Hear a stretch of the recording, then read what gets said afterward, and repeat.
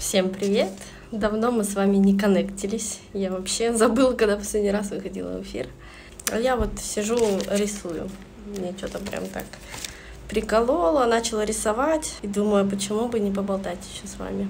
Сегодня весь день льет дождь гром, молния просто. И у меня такое засыпательное состояние. Я думаю, блин, сейчас кофе, если не попью, я точно засну. И я ходила весь день, вот прям реально засыпала. Что сделал мой муж? Он включил, короче, музыку и начал танцевать. Причем так смешно, что я просто ржала, как лошадь, не могла остановиться. Он берет меня за шкирятник и начинает заставлять танцевать. Ну, короче, минут 15 мы с ним боролись, в итоге он заставил меня танцевать, схватился за меня и, короче, давай двигай своей жопой, давай двигай. И, короче, мы так с ним натанцевались, ухохотались, рот, вот, вот просто вот сон рукой с него. Короче, что еще для счастья нужно? Просто включить классный музон, потанцевать, и откуда взялась энергия, непонятно. Вроде как бы она должна закончиться из-за того, что последние силы были убиты на танец, но нифига. Энергии прибавилось, что вот меня на рисовашке потянуло, и даже захотелось в эфир выйти, хотя до этого у меня таких позывов вообще не было. Прикиньте, что делает танцы. Я вам всем предлагаю после того, как пожалуетесь, взять хотя бы одну песенку какую-нибудь потанцевать рисовать. Что рисуешь? А, графику рисую.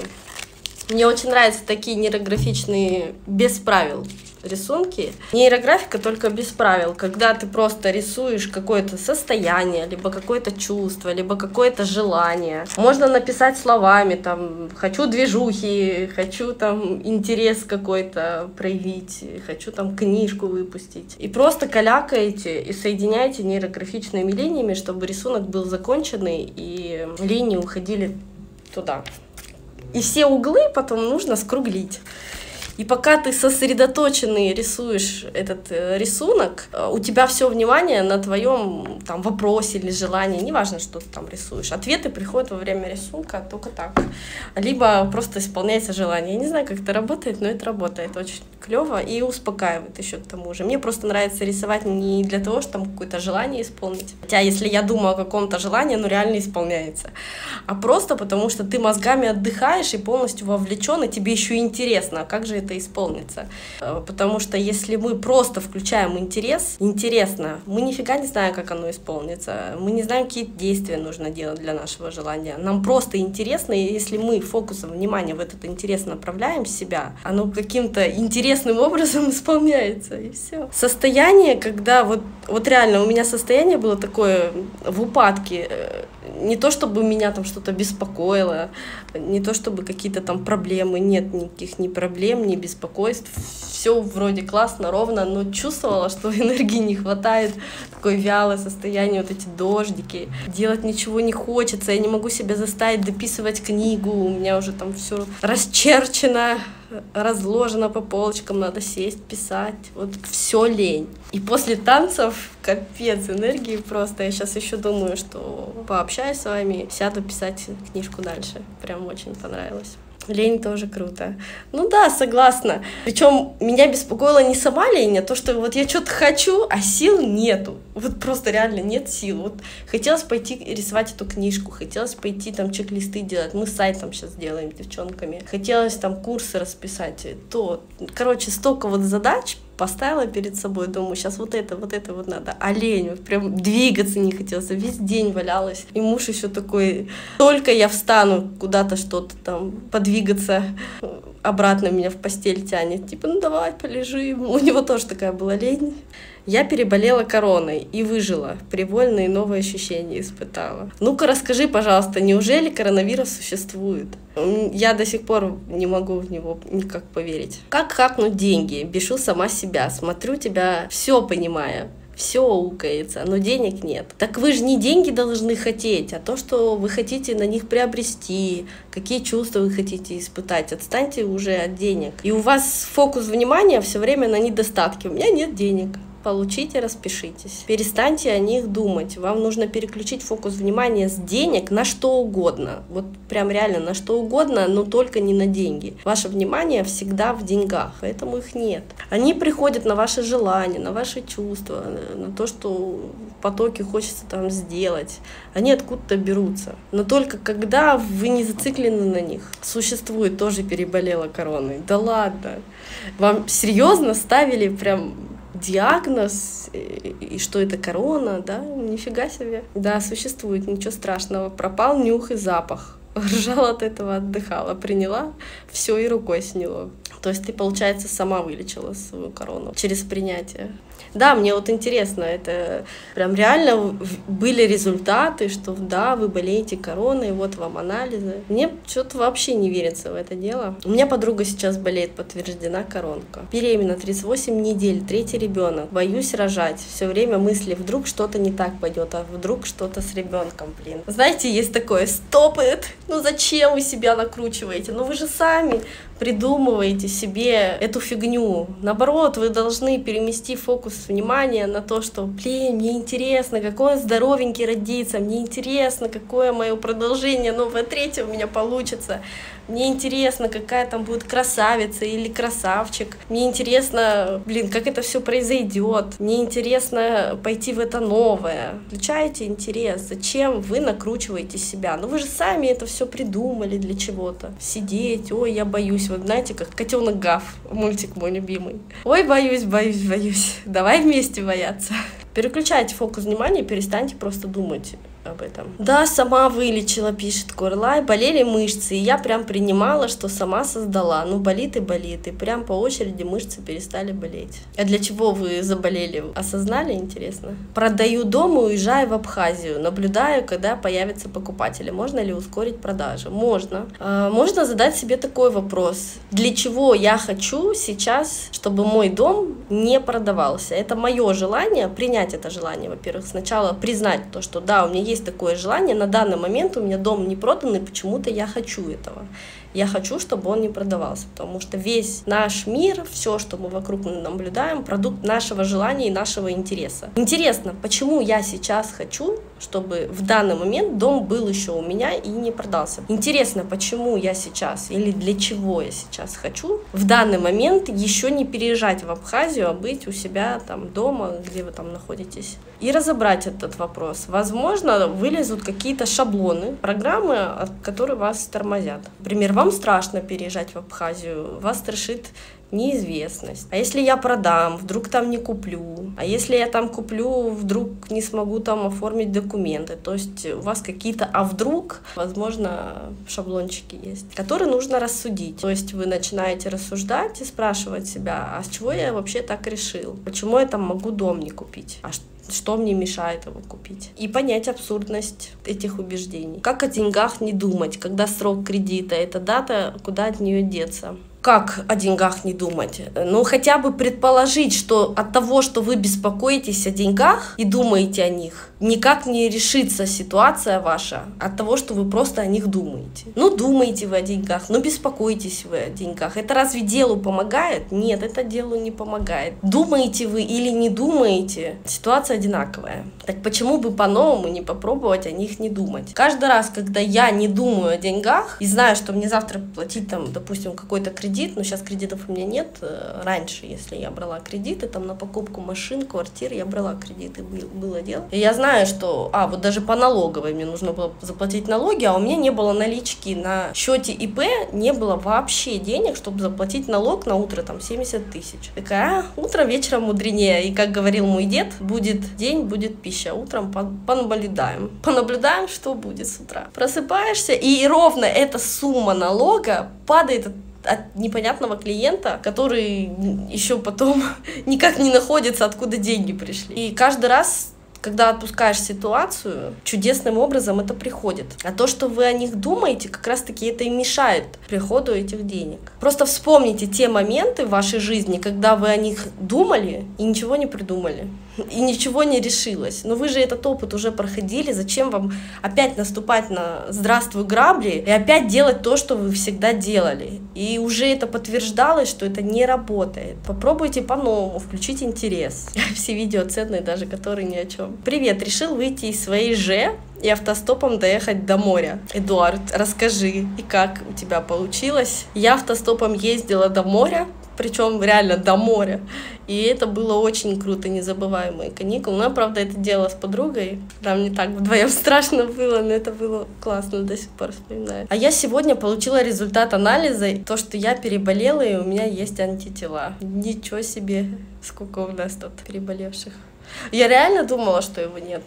У меня прям как-то пазл не складывается, что он есть. Елена. Так, я вообще в шоке. Увидела, что ты в эфире, открываю все мои страхи, все мои вопросы, все как раз задают. Вау, вот я творец, благодарю. Вместе веселее. Так, чтобы отдохнуть, я так устала думать хотела полежать, поспать и позаботиться о себе. Ну так харе думать, вот го танцевать. Почему я зависаю в интернете? Хороший вопрос. Я тоже всегда зависаю в интернете. Ну, наверное, потому что тут интересно. Что плохого в интернете? Можно, кстати, сейчас в интернете, если не знали, выйти на улицу и тоже сидеть в интернете, поехать на дачу, побыть в интернете, погулять в лесу и тоже побыть в интернете. Почему нет? приятное с полезным. Я обожаю интернет, не борюсь с ним, кайфую. Здесь классные люди. А меня преследует вода. Мне затопило кухню с дорогим ремонтом. Постоянно топит гараж, крыша течет. Месяц капал кран, пока не починили. Значит ли это что-нибудь? Если да, то что? С чем ассоциируется у вас вода? У меня ассоциируется вода с моим движением, с моей жизненной энергией, с моим потоком. У меня ассоциируется. И если у вас что-то протекает, да, то куда-то утекает ваша жизненная энергия. Но мы не можем с вами ничем наполниться и ничего слить. Имеется в виду, энергия — это действие, это движение. Вы либо себя останавливаете, не двигаетесь, да, чем-то останавливаете, там, страхами своими, э, либо мы идем в неизвестное, то есть двигаемся. Если у вас ваш поток течет мимо куда-то, значит, вы направляете какие-то свои действия не туда, делаете что-то не то. То есть фокус внимания не на движение, не на новое, а на какие-то здравствуй грабли. Но это мои рассуждения, не знаю, как для вас. Накидайте в таком же ключе ассоциации. Вот сегодня только думала, чем и зачем я захотела, чтобы Нелли стало мало в жизни моей. Это тут Почему мало? У меня же на YouTube очень много видео. Смотрите, не пересмотрите. Сегодня утром записывала мои чувства. Пришел заказ на, 300, на 30 тысяч. Потом я еще танцевала, и пришла еще зарплата.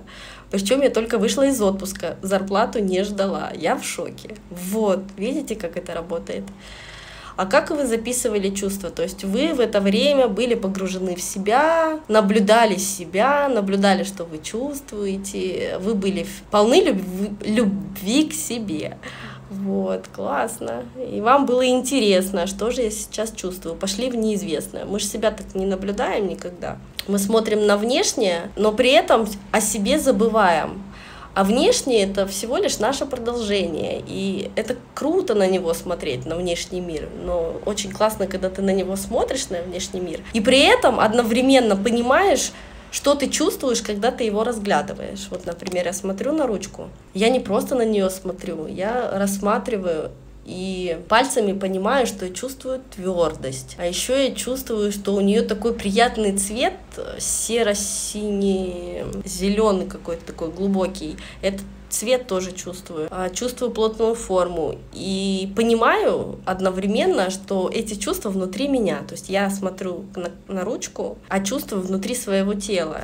И когда вот одновременно идет коннект внешнего с внутренним, вот тогда в потоке и во внимании к себе и вовне, и вовнутрь одновременно. И тогда, блин, очень классно рассматривать весь мир таким образом. И находить вот эту причинно-следственную связь. Вы понимаете, какими чувствами вы создали эту ручку. Вы ее создали, потому что чувствуете ее материю, твердь, как она как она чувствуется. Вот этими чувствами вы ее создали, ну, наше коллективное сознание. И представьте, что вы вовне так наблюдаете утекающую воду из крана, да, вот у кого там прорвало, крышу затопило, что вы чувствуете при этом? Вы наблюдаете и осознаете причинно-следственную связь. Когда вы получаете этот опыт, пошли в новое, увидели себя вот во внешнем отражении, вы этот опыт получили, внешний мир уже не будет вам сигналить это дело, потому что вы его уже познали, идете дальше познавать.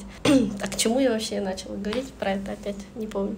А, то, что деньги пришли. У вас было желание, скорее всего, какое-то, да, и вы, когда наблюдаете за собой, эти желания начинают исполняться. Деньги — это всего лишь средства, они пришли не для того, чтобы вас порадовать, а чтобы вы на эти деньги пошли себя порадовали дальше и что-то приобрели, на что-то они вам пришли. Смотрю сериал про деньги на YouTube, это просто кладезь. Да, кто не видел у меня на YouTube-канале вместе с Олей, Доможировой мы делали мастер-класс и в 10 частях записали сериал «Деньги». Посмотрите. Конечно же, сериал «Деньги» совсем не про деньги. Сериал «Деньги» про то, как э, люди своим мышлением творят материальную действительность, как исполняют свои желания, почему все наши желания уже исполнены, почему мы имеем все эти проблемы, какие-то странные вещи, которые с нами творятся, и мы хотим их срочно изменить. И вот все это в фильме есть. Кто не смотрел, посмотрите. Ой, я прям так пафосно называю фильм. Просто мастер-класс записывали и все. Неля, благодарю за то, что ты есть. Переворот сознания в моей жизни. С нашей встречи за 7 месяцев я сменила три города. Пожила в Краснодаре, в Геленджике, сейчас в Сочи. Нет планов на жизнь, все в потоке. О, Олечка, классно. Ой, Оксаночка. Спасибо. Я вам вначале говорю, жалуйтесь, а вы мне тут эти комплименты. Классно. Когда я стала рисовать, стала чувствовать окружение, особенно природу и цвета. Бог гениальный художник, да. И этот Бог — это вы, и вы гениальный художник. Давайте встречу живую, так хочется. Ну, по поводу встречи чуть попозже. Я пока пас. Ну, ненадолго пас. Я еще не вышла с карантина. Смотрю тебя, и подруга пишет в WhatsApp, подскажите, как вернуть силу и энергию. Отправь ее на танцы. Движуха запускает движуху. Вот прям клин клином вышибает. Что ты такая милая? Милая в глазах смотрящего. И красота тоже. Как избавиться от ревности? Мы ни от чего не можем избавиться. В мире есть все, кроме самого отсутствия. Опять это тезисами пошла разговаривать. Мы можем только это принять и как инструмент использовать и осознать, для чего нам ревность. Мы же ее для чего-то чувствуем, почему-то это хорошо, для чего-то нам это нужно, и разобрать по полочкам, что для вас ревность, какое понятие в это слово вы вкладываете, а как можно это понятие использовать по-другому, а, Каким инструментом является ревность? Понятно, это ключик к самому себе. И на что эта ревность э, нам указывает обратить внимание. Разберите, что такое ревность. Начните хотя бы с этого, со словаря. И либо накидывайте ассоциации, запишите и осознайте, что, что вы туда вкладываете избавиться ни от чего в этой жизни невозможно. Борьба порождает борьбу. Война с чем-то порождает войну. Избавляться смысла нет. Все наши слова, все наши чувства, все наши дуальные программы, шаблоны, все наши ресурсы, все наши недостатки, недостатки других людей, это все таланты и ресурсы, которые мы можем использовать для движения. Если что-то вас останавливает, это можно использовать э, для того, чтобы вас толкало вперед. Просто пинок под зад мы себе даем и страхами, и стыдом, и ревностью, и это можно использовать на движуху. Но для этого вам нужно понять, какую суть вы вкладываете в это слово. Посмотрите сериал «Деньги», мы там на примерах берем слова и разбираем их. И, в принципе, у меня много там видео есть, э, где мы разбираем шаблоны мышления. Очень классно рассоздать и понять, как это использовать по-другому. Но ни с чем не боремся, ничего не отрицаем. Это наша сила, каждое слово. Даже ревность — это наша сила. Страх — это огромная сила наша. В страхах там такая мощь закрыта. В любом шаблоне огромная сила. Представьте, вы что-то очень долго отрицали и туда свое внимание всю жизнь направляли и копили эту силу. Это банк ваш э, денег, ресурсов э, замороженный. Вам нужно понять и раскрыть суть вот этого всего, чтобы расконсервировать и пустить для движения. Для этого просто надо разбирать слова, что вы понимаете под этими словами. Нелли, вы часто обращаетесь к духу. Нет, я, честно говоря, год уже или полтора к духу не обращаюсь. Ну, то есть я понимаю, что тело, дух, ум — это единое. Я — это не только тело, да, я не только дух, я не только ум, я — это все вместе.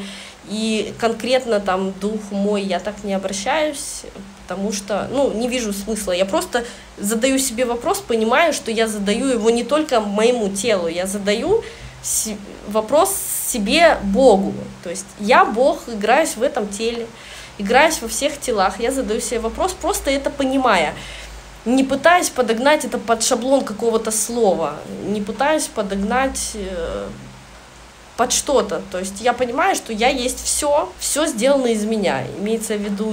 То есть я обращаюсь к самой себе, понимая, что я это все.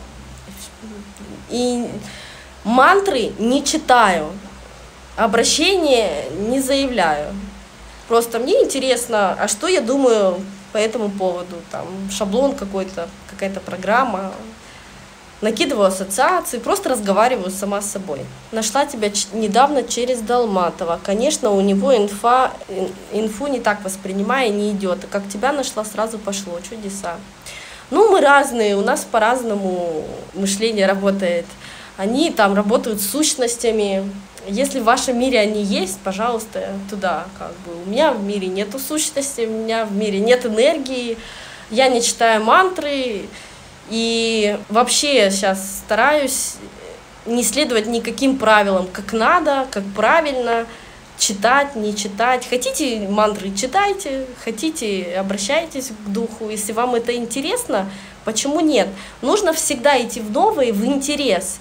И не сравнивать там, правильно это или неправильно, нужно это или не нужно. Главное, чтобы вы чувствовали кайф. Главное, чтобы вас это заводило. Главное, чтобы вас это радовало любая техника, э, зачем ее отрицать? Если вам по кайфу ее использовать, вас от, от нее прет, какая бы эта техника ни была, пускай это тета-хилинг будет, пускай это будет, не знаю, что, танцы с бубнами, пускай это будет экзорцизм. Если вам это нравится, занимайтесь. Но мы люди такие, то что нам долго одно и то же не может нравиться. Нам все время хочется идти в новый опыт. Поэтому с легкостью отпускайте старые знания, старые техники. Попробовали, пошли дальше, попробовали, пошли дальше. Вот как раз вот этот новый опыт, все попробовать, то, что вам интересно, вот в этом и есть кайф и движуха. Э, я обращалась к духу, мне было это интересно, я не знала, как по-другому. Но в какой-то момент я поняла то, что мне это уже не интересно, я уже больше не обращаюсь. Вот, захочется еще раз обратиться, обращусь. Ну вот, у меня такая философия, то что зачем зацикливаться долго на чем-то, потому что если я на чем-то зациклилась, я себя уже начинаю тормозить а мне хочется всегда идти в какую-то новую информацию, что-то новенькое попробовать. Сегодня я старенький, э, этот, э, по старенькому нейрографику рисую, ну вот захотелось мне, хотя я вот не, ну, очень давно не брала в руки и не рисовала вот так. И думаю, еще долго к этому не приду, буду там, не знаю, какие-то другие техники использовать, придумывать. У меня, кстати, где-то есть пост про техники, про иконы, про амулеты, про места силы. Короче, можно наделить любой предмет, если вы понимаете, что вы творец и внешне это ваше отражение, то он будет иметь силу. Но как только вы начинаете уделять этому предмету там камень, какой-то амулет, да, деле, очень долгое внимание, то сила переходит ну, в этот предмет, потому что вы начинаете уже на него перекладывать ответственность. То, что это он творит, а не вы. Когда вы начинаете забывать все, этот амулет нахрен надо выкинуть.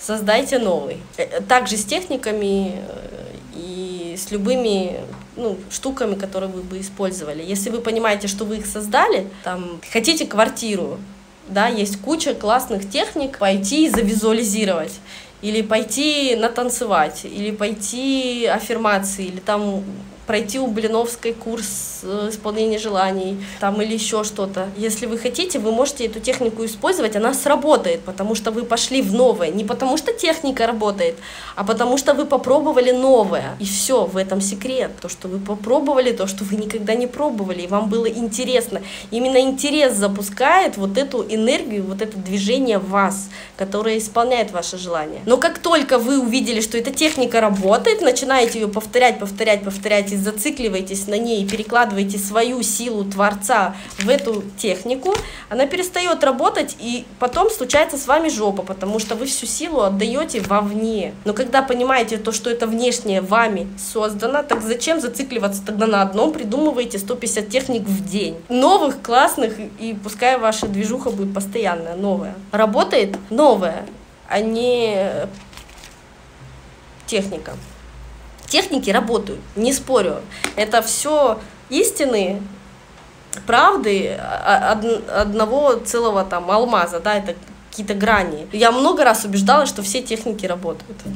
До тех пор, пока я их творю сама, до тех пор, пока я их использую с интересом, до тех пор, пока я понимаю то, что эта техника просто мой интерес, но как только я переложила на эту технику внимание, то, что это не я, а она, что это не я, а амулет, что это не я, а вот эта вот нейрографика, что не я, а аффирмации, это они эффект дают, все, тогда вы потом себя по башке ударите, и вам это аукнется ну, чем-то таким, болячкой какой-то, проблемой, разрушением связи с чем-то или с кем-то только для того, чтобы напомнить себе то, что творец вы, не надо перекладывать ответственность на внешнее. Но при этом мы эти техники не отрицаем, понимаете?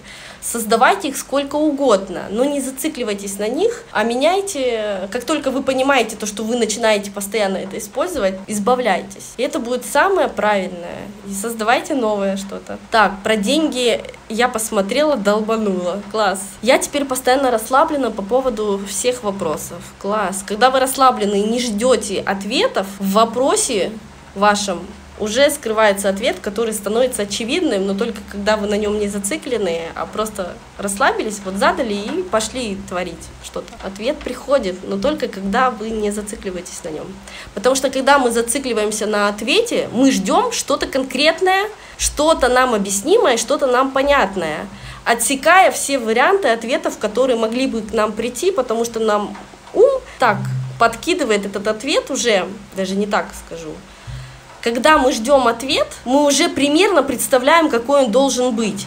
И когда реально ответы к нам приходят, мы их сразу отсекаем, потому что мы-то ждем другое. А когда вы расслаблены, ответы придут, потому что вы не ожидаете э, то, что придумал ум то, что не является ответом. Не знаю, понятно я вам объяснила, непонятно. Короче, расслабьтесь, это самое лучшее. Мечтала всегда жить в Москве, все сложилось неожиданно. Моя семья, я в Москве, классно. Я тоже столько раз мечтала жить в Москве, и просто потом это случилось невероятно, очень невероятным способом. Я была в шоке. Эту историю, может, расскажу Хотя, может, и рассказывала. Я сегодня лень и бессилие проживаю. Вот и я сегодня то же самое проживала, пока меня муж просто не заставил за шкирку, не поднял с дивана, и мы начали с ним танцевать. Он просто вцепился в мои руки и вот так вот меня колбасил. Ну танцуй, ну танцуй, ну танцуй, минут 10-15. Я не могла расслабиться, ну меня вот так вот шкивало, вот прям голова на плечах ну, не держалась, на шее не держалась, просто вот реально падала, я как сосиска из-за дождя этого. Вот, но потом просто меня проперло от этого танца. До сих пор колбасит. Так, как научиться делать движение сердца? Движение сердца это просто мой телепатический сеанс, который я придумала, создала. Э, это мое ноу-хау. И я веду курсы по телепатии, где мы считываем информацию там, с людей, с, с толпы, из будущего, с прошлого. Там, читать мысли можно, получать ответы, пофиг короче, как эту телепатию использовать. И вот этот э, сеанс движения сердца телепатический, я просто настраиваюсь на человека и так далее. Там, почитайте, блин, информации много, у меня есть э, ссылка в профиле на канал движения сердца. Вот, и тренинги по этой теме отсутствуют. А, что я вру? У меня есть этот эм, инициация на проводника движения сердца. То есть как бы я сама лично учу тому, чему тому, чему, что я делаю, короче, вот. Но это только вживую для тех, кто проходил хотя бы один мой курс, любой, чтобы понять, ну, в курсе дела, как трансформировать, как работать с собой, э, вообще, как устроен мир, э, что многореальность самоподтверждающаяся правда, и что весь мир это ваше отражение, и это всего лишь следствие. И когда вы понимаете базу, тогда уже дальше на проводника там, от трех до недели обучения вживую. Лично э, со мной у меня дома.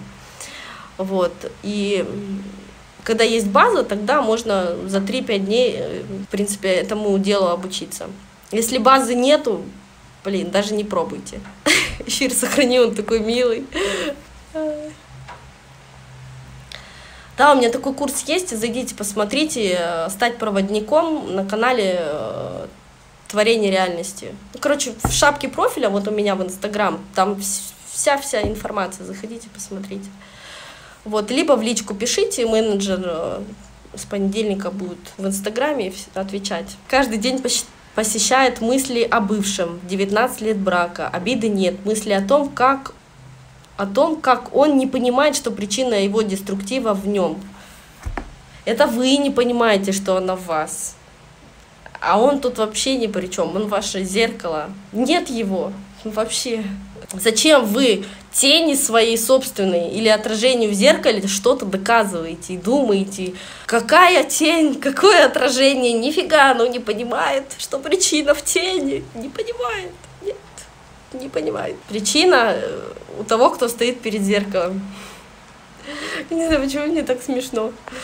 Не могу найти, в чем моя уникальная ценность. Пересмотрела много информации на эту тему. Задаюсь этим вопросом постоянно, как лучше понять себя. А вы у меня смотрели или где-то там в интернете? Я не буду говорить, что моя информация самая правдивая, абсолютно не так, у каждого она своя. Вот, но если хотите ну, от меня вопрос получить, тогда почитайте у меня около пяти постов или, или пять или шесть постов, что такое уникальная ценность, прям здесь в ленте в Инстаграм. И есть видео, прям так и называется, уникальная ценность. Э, и еще есть видео предназначение. Вот. И я прям по полочкам рассказываю, что это такое, если вам интересно мое мнение. Вот. Я не оспариваю, что моя правда правдивая, хрен его знает, может, срезонирует с вами. Что такое иллюзия? Говорят, вернись к истине. Иллюзия — это все, что вы видите вокруг себя. Ой, не могу, смешно. А, ты такая милая, что у меня отек перестал болеть. Спасибо, эфир лечебный. Нет, я еще не чумак. я так не умею.